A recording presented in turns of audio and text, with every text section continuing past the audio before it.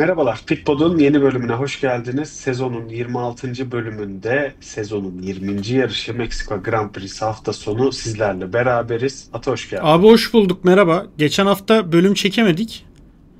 Evet, aynen. Geçen hafta bölüm Bunu, çekemedik. bunu izleyicilerimize izah seyahatler- etmemiz gerekir yani. Evet, aynen. Yani ilk defa 3 sezondur ilk defa bir yarışı kaçırdık. 2022 Miami Grand Prix'sinden beri diyebilir miyiz? Evet, aynen öyle. İlk defa bir yarışı kaçırdık. Evet. Ee, üzgünüz de bir yandan. İlk defa böyle bir şey yaşadığımız için. Ama geçerli sebeplerimiz vardı diyelim. Evet. İşte hem seyahatler hem bir de burada ekranda görmüş olduğunuz ufak bir durum var. Evet. Ee, o sebepten dolayı geçen hafta çekemedik. Ben abimi dövdüm. Ee, itiraf etmem gerekiyor artık. Ben dayanamadım ve Evet. bir tane yumruğu salladım. Ee, buradan da özür dilerim şimdiden. Ee, hiç özür dileme şansım olmamıştı. Ee, Evet, ya insan süreç abisini döver mi? adalete Ee, yorumlarını Evet. görür gibiyim. Ee, dövmez. Ee, doğru söylüyorsunuz evet. ya şöyle oldu. Süreç adalete intikal etti. Ata yargısız, Detay yargısız neydi lan? Detay Şeysiz. veremiyoruz o yüzden. Şu an davalık Ha, olduk yani. tutuksuz. Yok yok tutuksuz yargılandı.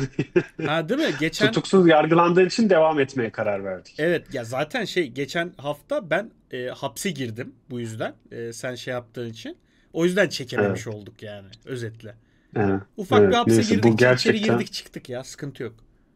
Neyse Allah düşürmesin diyelim. Bu bullshit Tabii. teorimizden sonra da Evet. E, yarışa geçelim. Evet Tabii. yani Kanada'yı da yorumlayamadık ata. Ama Meksika'yla e, açalım. Evet. Meksika keyifli bir yarış oldu. Kanada Amerika. Aa, kan- yok çok pardon. Ben az önce de mi Kanada dedim Yok ya? ilk Şey, defa Kanada dedim. e, Kota. Kota ile Kanada'yı kafam karıştırdı. Aynen Evet, öyle. Texas yarışını kaçırdık. Neyse önemli değil Meksika'yla açalım. Hı hı. Meksika'da Ferrari rüzgarı esti. Carlos Sainz pole pozisyonunu aldı. E, podyumda iki tane Ferrari'miz vardı. Evet. E, Sainz'ın birinci başladığı yarışa arkasında ikinci Verstappen'le başladık. Üçüncü Norris, dördüncü Leclerc ve bu dörtlü gerçekten e, belli noktalarda heyecan arttığı bir yarış izlettiler bize. Evet. Şöyle genel bir yorum alayım sonra biraz daha böyle e, detay konuları da konuşacağız. Genel yorum şey benim çok hoşuma gitti. Bence gelecek seneye yönelik çok güzel umutlar veren bir olay oldu bu olay. Ee, Ferrari'nin iki yarıştır kazanıyor olması. Bence çok ciddi bir şey. Ee, bir, bir anda çünkü böyle hiç alakasız bir yerden gelip e, kazanmaya başlıyor olmaları e, güzel oldu. Bir taraftan da bana şeyi fark ettirdi bu. Puan durumunda Ferrari'nin böyle mesela şu an matematiksel olarak Constructors'ı kazanma ihtimali var ya. E, Var. bu bana ciddi şeyi var fark yani. ettirdi. Abi sene boyunca bu adamlar zaten fena değillermiş yani. Biz hani hep böyle Evet. sövdük sövdük sövdük hep böyle gözden ırak podyum ikinci üçüncü işte arada salaktan kazanmalı falan Ee, ve gerçekten fırsatta hazır olana geliyormuş. Şu an bir fırsatları var yıllar sonra 2007'den Evet. 2007'de de galiba 2007'de mi Constructors kazandılar en son. Raikkonen kazanmıştı ama neyse.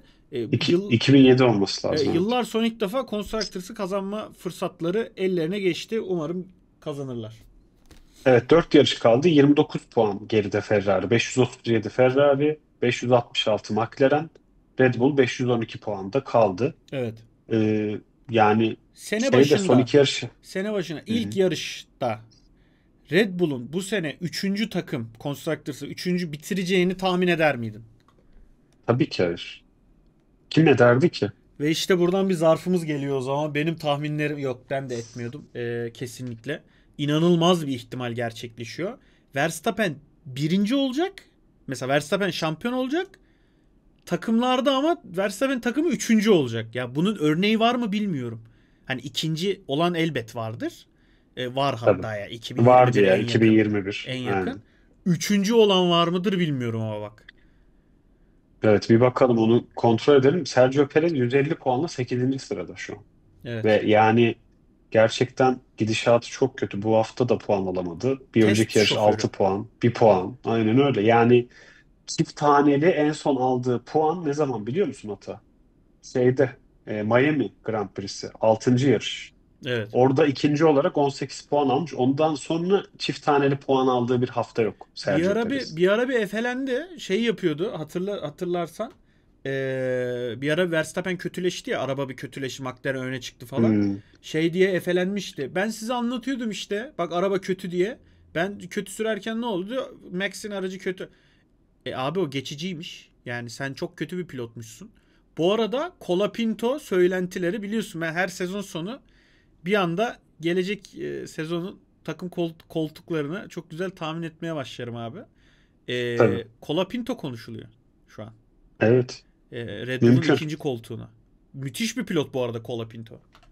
Colapinto'yu şey yapmadan direkt alırlar mı Red Bull acaba sence? Alabilirler. Visa App Racing Bulls'ta bir sene geçirtmeden. Alabilirler. Yani bak Nick de Vries örneği var önümüzde. Onu Evet. da böyle bir yarışta görüp ya Colapinto gerçi birden fazla yarışa çık- çıkma şansı bulacak. Buldu bu sezon. Abi Ama Nick de Vries'e baktığımda Ha. da yani o da bir yarış geldi. Sonrasında adamın yani sezonun ortasını beklemeden gönderdiler geçen sene. Abi Devries çok ilginçti ama bak. Devries bir yarışta gelmemişti şaşırtıcı olan. Devries Formula 3, Formula 2 katıldığı ilk senelerde takır takır şampiyon olmuştu. Formula 1'de yer bulamadığı için Formula E'ye katılmıştı. Orada da şampiyon olmuştu. Domine ederek ki Formula E'de de öyle boş pilotlar yok yani. Bayağı ciddi pilotlar var Formula E'de. Ee, inanılmaz bir profil olarak gelmişti. Yaşı çok olgundu. Bütün ihtimaller müthişti ama olmadı yani. İnanılmaz bir şekilde olmadı. Hani geri kalan herkesi anlıyorum ben. Hani tamam kötü pilot. Evet. De Vries çok iyi pilot diyor. Nasıl olmadı yani? Hala inanamıyorum ben ya. Neyse De Vries'i bırakalım. Meksika yarışına geri dönelim istersen. Şimdi Sainz'ın pole pozisyonunda başladığı bir yarış. Hı. Ee, Verstappen upuzun düzlükte hemen Sainz'i avlamayı başardı yarışın Evet. başında. Hı hı. Sonrasında 9. tura kadar böyle gittik. Sonrasında Sainz Verstappen'i geçmeyi başardı. Asıl hikaye ama yani orada o geçişle ilgili bilmiyorum. Söyleyeceğim bir şey var mı? Yani mesela Verstappen orada Sainz'a hiç direnmedi. Evet. Sainz'la yarışmıyor Direkt çünkü. çok rahat geçti yani. Sainz'la hiçbir alanda yarışmıyor. Ne pilotlar şampiyonasında yarışıyor, ne takımlar şampiyonasında yarışıyor. Hiçbirinde yarışmıyor. O yüzden Verstappen düşmanını çok doğru seçiyor. Verstappen'in şu an tek düşmanı Norris. Takımlar da gitti Evet. zaten. Adam tek hayali Drivers Championship'i kazanmak. Şoförler e, ligini kazanmak. Onu da kazanmak için Norris'e hayvani şeyler yapıyor, savunmalar yapıyordu e, kaç yarıştır. Evet.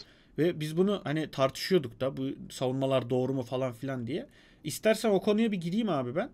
Ee, Tabii buyurun. Verstappen- 10. tura geldik. Evet. Norris beklenmeyen bir yerde aslında yaptı biraz da hata. Yani e, çok da geçişin olmadığı bir virajda yaptı hata.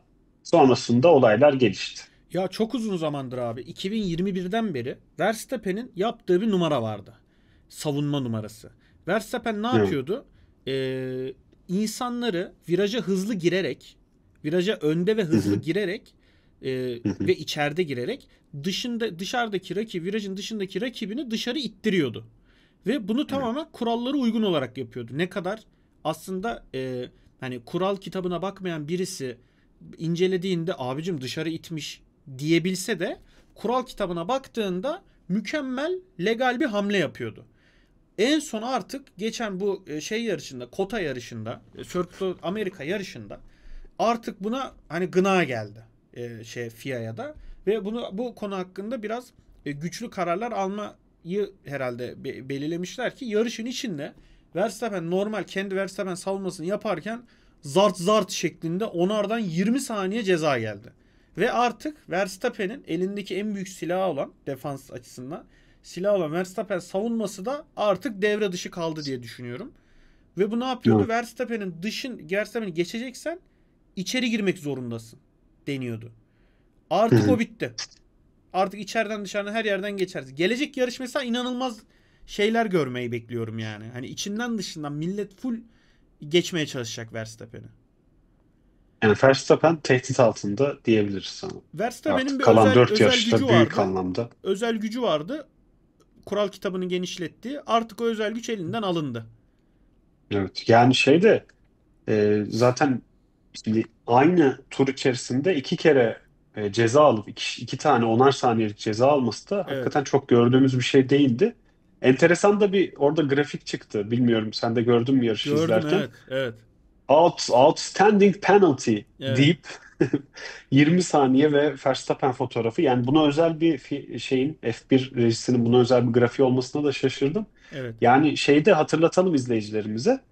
Ee, bir e, Norris'i dışarıya ittiği için Hı hı. bir 10 saniyelik ceza aldı. Bir de pist dışına çıkıp avantaj kazandığı için de Evet. e, hemen üst üste virajlarda bu iki hareketi yaptığı için de totalde 20 saniyelik cezayı almış oldu.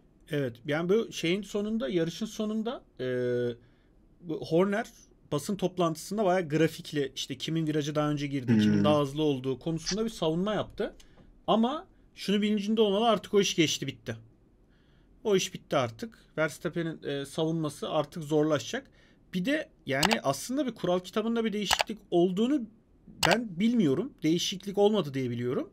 Buna rağmen e, bir anda tak tak diye adamın yıllardır yaptığı şey iki tane ceza gelmesi e, hı. FIA'nın da artık hani demek ki Red Bull'a gizliden bu uyarıyı yaptı. Bakın siz bunu yapmaya devam ederseniz biz buna engel olacağız dedi. E, ve Red Bull da çok umursamadı gibi anlıyorum bunu yani. Çünkü basına yansıyan bir şey olmadı bizim bildiğimiz. Hani FIA uyarmadı bak bu kuralı artık şey yapma diye, esnetme diye yani. Evet evet yok olmadı öyle bir şey. Ve böylelikle Aynen. de bence Norris'in e, şampiyonluk için bir şansı var. 4 yarış kalmış. Kaç sprint kaldı? 2 sprint mi? İki sprint kaldı. Yani Dört yarış abi var. ciddi puan var Ara- piyasada. Yani 4 Aradaki yarış, puan farkı 47. 4 yarış. Yani alabileceği 100 100 puan, e, iki de sprint 116 puan var. yani hani Yani 116 aradaki puan. fark 47. Verstappen gitti burada 50 puan aldı diyelim. E 8 puan önde şampiyon oldu Norris yani. Ha 50 puan alır mı? 4 yarış 2 sprintte çok zor. Ama işte bu savunma hamlesinin elinden alınmış olması eee, bu neden olmasın dedirttiriyor bana yani. Evet. Ama Verstappen şeyi iyi götürdü. Yani bir süredir yarış kazanamıyor. Evet. Yani ta şeyden beri İspanya Enis Kirazoğlu ile beri. fotoğrafı fotoğraf çekildiğinden beri kazanamıyor yarış. Aynen Dört öyle ay bak. oldu 3, galiba. 6, 10 yarıştır kazanamıyor Verstappen. 4 ay. Buna rağmen evet buna rağmen hani bu arada e, geti- çıkarmış olduğu 4 tane ikincilik var. Evet. Hatta 5 tane mi? E, geçen hafta da mı ikinci olmuştu? Hı hı. Neyse yani aslında bir şekilde o farkı iyi bir şekilde yönetti diyebiliriz Verstappen için. İnsanlar bir de şey yorumları yapıyorlar. Ben ona çok şaşırıyorum. Ya işte Verstappen böyle yapmasının sebebi işte kural kitabını esnetiyor olması, çok şey olması, cezasız olması falan filan. Ya abi biz Schumacher'i zamanında izledik. Seninle izleyemedik de ya onlar ne biçim savunma yapıyorlardı yani. Hani mesela. Schumacher'i falan hatırlıyorum. Yani e, ara ara inanılmaz savunmalar yapıyorlardı yani. Milletin üstüne kırmalı, frenlemede yön değiştirmeli. Bunlar bir şey değil. Vallahi bir şey değil ya. Tam Verstappen çok yırtıcı. Tam bir köpek balığı. Ama bunlar bir şey değil abi. Bu sporun temelinde var. Şampiyonluk adayı olan kişi arkandan geliyorsa gerekirse kuralları çiğneyip iki arabayı da duvara sokarsın ki ikiniz de puan alamayın. Yani yok öyle. işte şeyli Bu iş böyledir yani. Aynen centilmen yarışalım. Ne centilmen abi? Centilmenlik arıyorsanız Finlandiya'da çarpışan arabalara binin. Peş peşe dolanırsınız şöyle yani çarpışmadan. Öyle bir dünya yok. Türkiye'deki çarpışan arabalar olması lazım. Normalinin. Tanımadığın insanlar lönk diye giriyor ya. bilmem. Müthiş ya. Hakikaten öyle. Evet Ata yani Sainz yarışı lider tamamladı. Bir dubleye de doğru gidiyorlardı. Ama Leclerc'in son turlara doğru yaptığı hata ve pist dışına taşmasından sonra Norris'e Güzel yerini toparladı. kaybetti. Efsane toparladı. Evet yani Leclerc bariyerlerde iyi duyabilirdik yine sanki. Abi Bayağı da yok, duymuyoruz sanki. Adam zaten onun kıyısında ya. Ya ama uf, 2018'de Vettel ne yaptı öyle ya? 2018'de Ferrari şampiyonluk şansı olmasını hiç konuşmuyoruz ya. Yani Şu anda da e, 6 konuşmayız. sene olduğu için Evet. olabilir mi? Evet, şu anda da şu anda da konuşmayız ya. Evet. Oğlum bu şey gibi oldu ya. Mesela öyle bir e, söylenti vardı ya. Erkekler her gün antik Roma'yı düşünüyormuş falan gibi. Öyle saçmalıkta bir şey oldu yani. Evet. Bir de Hani şey de varmış erkekler en az en az bir kere antik Roma'yı düşünüyormuş yerine sen her gün en az bir kere 2018 Ferrari'yi düşünüyor musun? Ee, düşünmüyorum. Sanırım ayda ayda bir düşünüyorum bu arada. Ayda bir geliyor. Zaten pitpot'tan Hmm. ötürü de geliyor da. Erkeklerin Tabii. %50'si de abi e, acil bir durumda bir yolcu uçağını indirebileceklerine inanıyormuş. E, Doğru. ben de onlardan biriyim Sence? bu arada. Ben, ben var ya tekte indiririm yani. Daha bugün konuştuk arkadaşlarla. Hani helikopter falan zor işte. Uçağı halledersin yani. Evet. Instruction falan almaya da gerek yok değil mi? Gerek yok abi. Gerek yok ya. ACT şey yapsın, ATC şey yapsın, kendi işine baksın. Onlar başkalarıyla ilgilensin. Pisti boşaltsın yeter. Hakikaten Hani öyle. Şimdi ata, yapamayız ama tamam evet. evet. evet yani son dönemde senin gibi özgüvenini tavan yapan Ferrari ile devam edelim. Keşke. Ya Sainz keşke. en hızlıydı. Ee, Norris onun işte çok yakın yani hani yüzde dört civarında bir farkla gerisindeydi yarış temposunda. Leclerc de e, onda bir saniye civarı gerisindeydi. Dikkat çekici olan Verstappen yarım saniye geride. Evet. Yani e, şeyin McLaren'lerin ve Ferrari'lerin temposu Verstappen'den Red Bull demiyorum. Verstappen'den iyice ayrışmaya başladı. Ee, bence normal. Ya Verstappen abi şu andan itibaren 3. en hızlı arabaya sahip. Ee, olduğu tescillendi bu yarışla Hı. beraber. Ee, ve e, alabildiği puanlara bakacak. Gerçekten bak ta yani Verstappen kazanamadığı ilk yarışlarda hani böyle McLaren'in bir iyileşmeye başladığı noktalarda tartıştığımız bir konu vardı hatırlıyor musun? 2009 Jenson Button şampiyonluğu gibi bir şey olur mu? Brown GP şampiyonluğu gibi. Yani Galiba bayağı oluyor. ona gidiyor, ona gidiyoruz. Yani Ona biraz gidiyoruz doğru bir yani. tartışma yapmışız zamanında. Ona gidiyoruz şu an yani. Hiç yarış kazanmadan Evet. e, e, sezonun başında birkaç tane yarış kazanıp geri kalanında yeterli puanları alarak şampiyon olmak. Evet. Buna evet. gidiyor şu an yani. Peki şey Ferrari'nin Mars Verstappen de aramıza katıldı. Evet buyurun. katı- biraz katılamadı gibi ama Katılamadı evet. şey oldu herhalde. Utandı çocuk. Şimdi Ferrari'nin bu sezonki böyle yani yine sezonun sonuna doğru artan performans sene için bir olumlu bir gösterge olur mu sence? Ee, Yani nasıl yorumlamak lazım? Ya şöyle iki ihtimali düşünelim. Olabilir ihtimalini şöyle düşünelim. Evet bu e, sezon arabaya getirdikleri Ar-Ge gelecek sezona yansır ve e, bu çok olu- çok olumlu sonuçlanmaz ama olumlu yansır yani gelecek sezona. Diğer ihtimalde de e, bu senenin aracını hala geliştirmeye devam ediyor olmaları gelecek senenin hakkından çalıyor olma ihtimallerini bana düşündürtüyor. Hı. hani ben aslında biraz o taraftayım. Biraz o kanaatteyim yani. Yani takımlar şampiyonluğunu almak tamam önemli. Ya şu haliyle alamaz mısınız? Mesela McLaren de hala geliştirmeye devam ediyor aracını. Red Bull da hala Evet. geliştirmeye devam ediyor. Abi siz şu anki halinizle ikinciliği alın.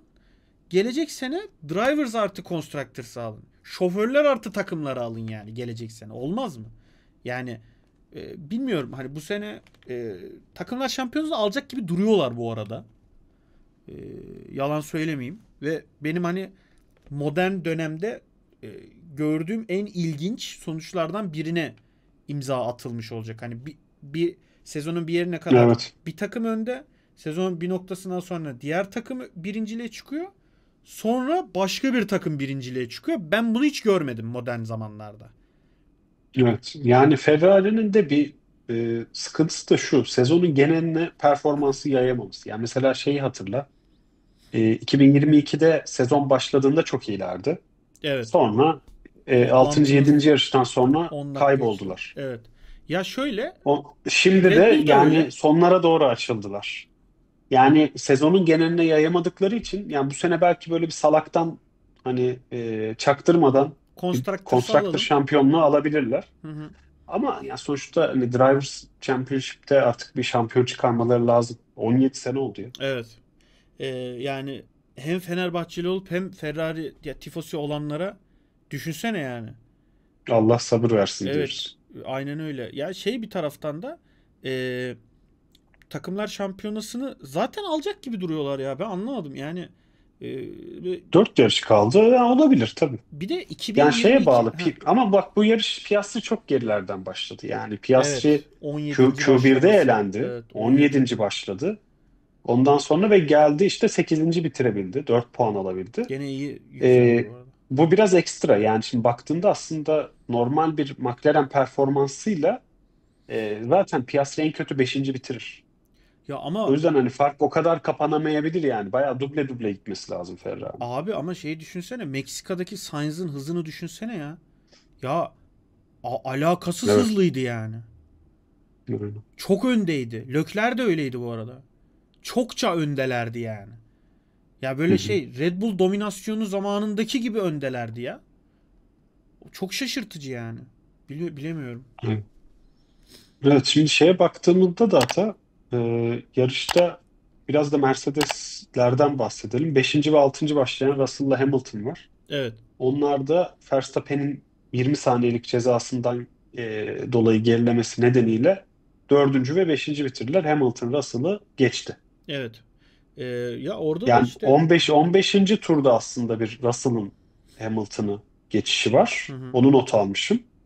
Sonra da yarışın sonuna doğru 66'da tekrar Hamilton yerini geri almış. Evet yani şey Mercedes tabii e, bu sezonu zaten salmıştı yani. Ee, gelecek sezonlara Evet.